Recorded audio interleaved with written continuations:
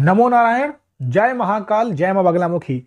देखिए, आज का विषय है कि पूजा का दीपक बताएगा कि आपके साथ चलने वाली शक्ति भूत है, प्रेत है या फिर दैवी शक्ति है। पूजा के दीपक में यह शक्ति आती है। और यह कौन सी आती है, यह आपको दीपक ही बताएगा। तो अपने आज के इस वीडियो के माध्यम से हम जानेंगे कि क्या होता है जिससे हमें पता चल जाता है देखिए, सबसे पहले यह वीडियो उन सभी लोगों के लिए है जो निरंतर साधना करते हैं। और जिन्होंने कभी साधना की ही नहीं है तो उनको यह समझ में ही नहीं आएगा कि मैं क्या बोल रहा हूँ। तो जो निरंतर साधना कर रहे हैं, पूजा पाठ बहुत ज़्यादा करते हैं और अपने सामने हमेशा एक दिया जलाते हैं। चाहे वो मट्टी का हो, चाहे वो स्टील का हो, चाहे वो पीतल का हो, लेकिन एक दिया जलता है। तो ऐसे में यह जो मैं बताने जा रहा हूँ, वो चीज़ें होंगी आपके साथ। और एक चीज़ जान लीजिए, मैं आपसे पर्सनल ये चीज़ कहना चाहता हूँ कि जब भी आप दिया जलाते हैं तो सबसे बढ़िया जो दिया होता है, वो होता है मिट्टी का दिया। अगर आपको मिट्टी का दिया कोई मिल जाता है, क्यों ये महत्वपूर्ण होता है? देखो, एक तो इसमें मट्टी होती है, यानी माँ पृथ्वी होती है। दूसरी बात होती है कि सेकंड जो इंसान होता है, उसके कर्म होते हैं, क्योंकि उसको वो अपने हाथों से बनाता है, कुम्हार, है ना? तो इसका इंपॉर्टेंस बहुत ज़्यादा होता है। आप देखेंगे, एक उपाय होता है जिसमें कुम्हार की चौक, जिससे वो काटता है, जो धागा होता है, उसका भी बहुत इंपॉर्टेंट रोल है। वो यहाँ पर मैं अभी चर्चा नहीं करूँगा, लेकिन इंपॉर्टेंट रोल है बहुत ज़्यादा। तो मिट्टी का बहुत बड़ा इंपॉर्टेंट रोल होता है। मिट्टी का दिया बहुत बढ़िया माना गया है। तो अगर आप सबके पास भी ऐसा दिया है, या दीपावली में से बच गया है तो उसका यूज़ करें तो ज़्यादा अच्छा रहेगा। आप बड़े दिया का प्रयोग कर सकते हैं। ठीक है? छोटी जो चीज़ होती है, उसको बोलते हैं दियाली, और जो बड़ा होता है, वो होता है दिया। तो मिट्टी का बड़ा दिया भी आप प्रयोग कर सकते हैं। पहली चीज़ तो यही हो गई।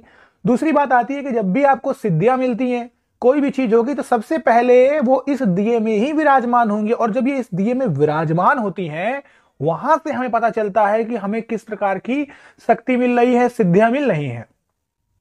अब देखिए, जैसे ही आपकी साधना ऊपर बढ़ेगी, चीज़ें जाएँगी तो आप देखेंगे पहले तो आपका दिया नॉर्मल जलेगा। पहला चीज़ तो यही हो गया नॉर्मल जल रहा है। लेकिन जैसे जैसे आपके मंत्र का जाप ऊपर बढ़ता जाएगा, दिन गुजरते जाएँगे, उसके बाद क्या होगा कि आप ध्यान देना उस पर या तो वो दिया फड़फड़ाएगा, फबकेगा एकदम ऊपर। ऐसा लगेगा कि लॉ बुझने वाली है या फिर वो धधकेगा ऊपर को, बहुत तेज़ी से ऊपर को उठेगा। ठीक है, ये एक पहला लक्षण होता है। दूसरी बात होता है कि ऐसे में दिया का जो मुँह होता है उसका, जो आग जल रही होती है जो अग्नि प्रज्वलित हो रही होती है, वो अपने आप उसकी बत्ती उधर को मुड़ जाती है। परमात्मा की तरफ़ जो लौ ऊपर को उठ रही है दिए के सहारे, उस बत्ती के सहारे, यानी उस रुई के सहारे जो लौ उठ रही है, अगर आपने सूत से बनाया है, कपड़े से बनाया तो भी कोई दिक्कत नहीं है।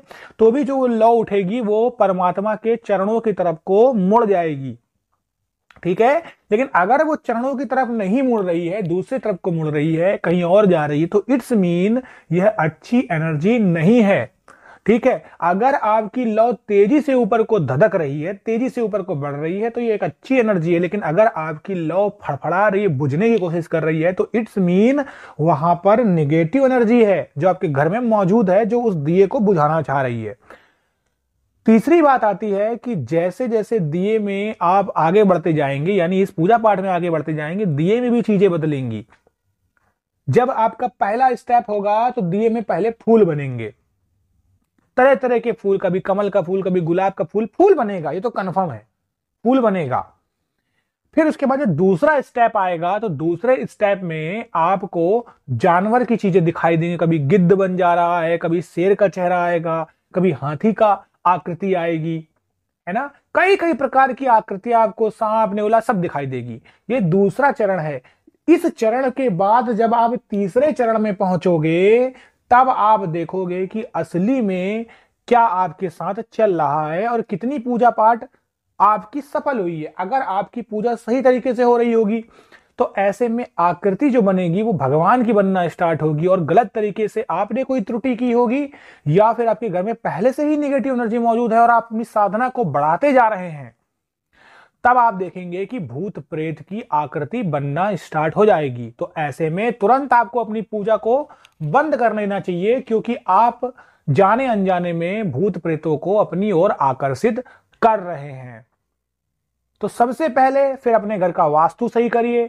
कुल देवी देवता को मनाइए, पितृ देवता को मनाइए, क्योंकि कुल देवी देवता अगर आपके सही नहीं है, जो देवता है, फिर आप कितनी भी पूजा पाठ कर लो, कभी भी सफल नहीं होगी। और ऐसे में क्या होगा कि जब सफल नहीं होगी तो फिर भूत प्रेत आपके घर में आ जाएँगे, जो भी आप भोग चढ़ाएँगे, वो सब खा जाएँगे। तो दिया आपको हर चीज़ बताता है। अगर आपके दिए में जो भी आपने ऑयल डाला है, वो बहुत जल्दी जल्दी खाली हो रहा है।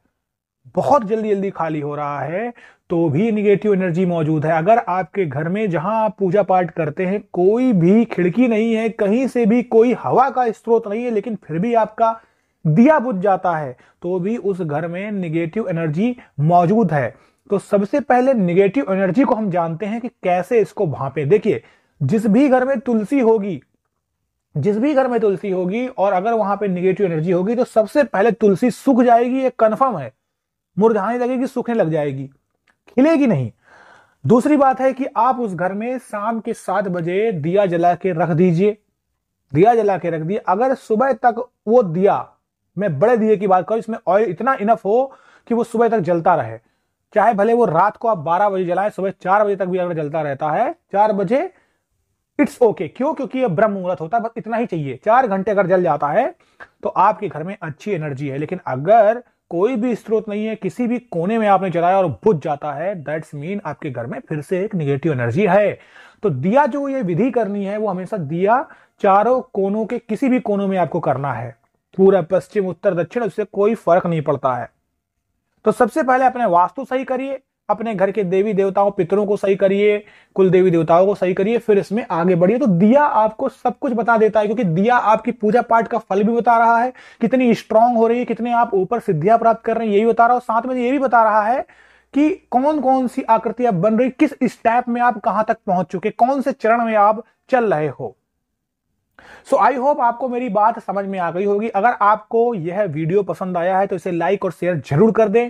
अगले वीडियो में आपसे मुलाकात होगी। जो लोग मेरे चैनल पर नए आए हो, मेरे चैनल को सब्सक्राइब ज़रूर करें। साथ ही बेल आइकन बटन को भी दबाएँ, ताकि नेक्स्ट नोटिफिकेशन का वीडियो आपको ज़रूर मिले। मेरा सेकेंड चैनल है ललित सिंह व्लॉग्स जिसमें मैं अपने ब्लॉग्स के बारे में बताऊँगा। और बहुत जल्द ही आपके सामने थोड़ा मौसम खराब चल रहा है। मैं आपके सामने चीज़ों को एक्सप्लोर करूँगा, जिसमें मैं अपने डेली रूटीन के बारे में बताऊँगा। मंदिरों में आपको लेके जाऊँगा सही तरीके से प्रॉपर तरीके से। है ना? उसमें मंदिरों के बारे में बताऊँगा ट्रुथ रिवील करूँगा, बताऊँगा कि कैसे भूत प्रेत निकाले जाते हैं, होते हैं जहाँ जहाँ ये करा जा रहा है प्रोसेस वहाँ भी मैं जाऊँगा अच्छे अच्छे मंदिरों को दर्शन कराऊँगा। तो मेरे साथ स्टे रहिए, आपको बहुत अच्छी अच्छी जानकारी मिलेंगी और बहुत जल्द ही मैं केटी ज्ञान में भी बहुत से लोगों का इंटरव्यू लेना स्टार्ट करने वाला हूँ। तो अभी के लिए आप सब लोग खुश रहें, स्वस्थ रहें और मेरे प्रभु नारायण आपकी सभी मनोकामनाओं को पूर्ण करें, भक्ति के मार्ग में आगे बढ़ते रहें और भक्ति में आपको शक्ति भी मिलते रहे। नमो नारायण, जय महाकाल, जय माँ बगलामुखी।